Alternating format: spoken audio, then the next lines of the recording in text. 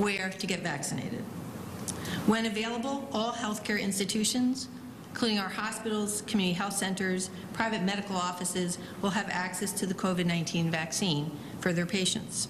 Many medical professionals can administer the vaccines.